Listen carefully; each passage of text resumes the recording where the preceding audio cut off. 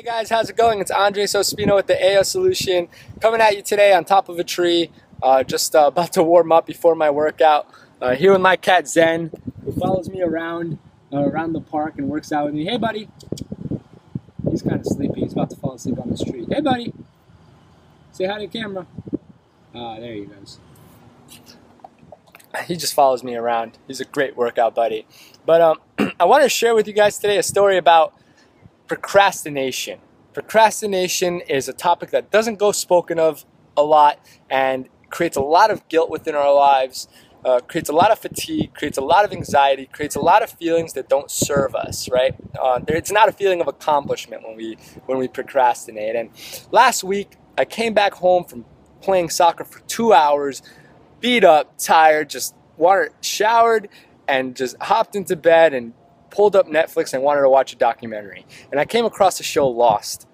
And I remember back in high school, my friends were hooked on the show. They telling me I had to watch it, I had to watch it. Uh, and I never did, you know. Um, and especially nowadays, I mean, when you can watch a series, you know, just straight through, it's a lot easier to get hooked onto shows. But um, and I, I, and I'm a huge Breaking Bad fan, huge. I mean, to me, Breaking Bad is a work of art, the best TV show that ever came out, right?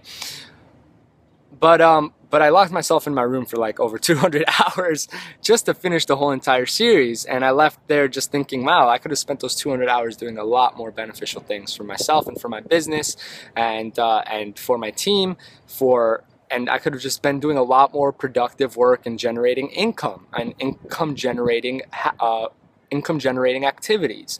So I start watching Lost.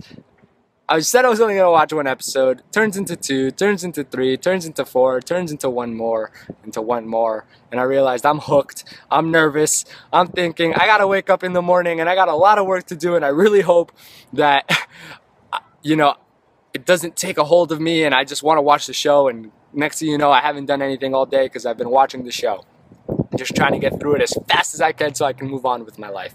So what do I do? I get creative with the solution. I don't just try to force myself into not watching it. Close the iPad and force yourself. See, because that that's resistance, and you don't want to create that type of resistance because then it's it's resistance, right? When you have a, a band that's constantly resisting, the resistance doesn't go away until you nip it, right? It's just going to constantly be in that force and that resistant force. So what you want, so what I did is that I looked up Lost in a Nutshell on Google. I Googled, uh, I Googled just a synopsis on the whole entire series and I watched the last 40 minutes of their hour and a half finale. Uh, and I understood the whole concept. I, I understood the whole show in, in less than an hour.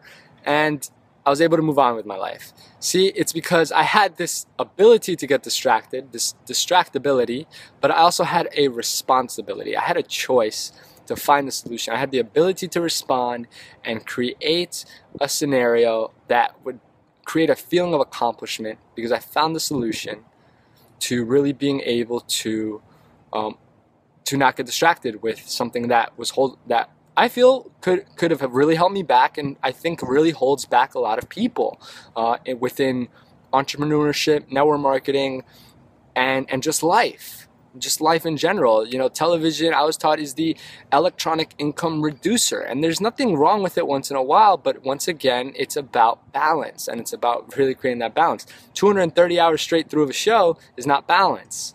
Um, so I want to share that with you guys today, I, because it's just another creative solution uh, and it's another form of awareness. I was aware of the cause that created my procrastination. I was aware of the cause that created the effect, right? Which was my curiosity, which was my um, just my my love for for for art right because i think tv shows are art i love acting right and and i think it's really cool and i love stories right but i understood that it's the show's not going to serve me. The show's not going to pay uh, for my trip to Colombia this week, right? My show's not going to pay for my trip to Peru at the end of the year. My trip's not going to pay for my uh, uh, for my gratitude seminars that I'll be doing in March, right?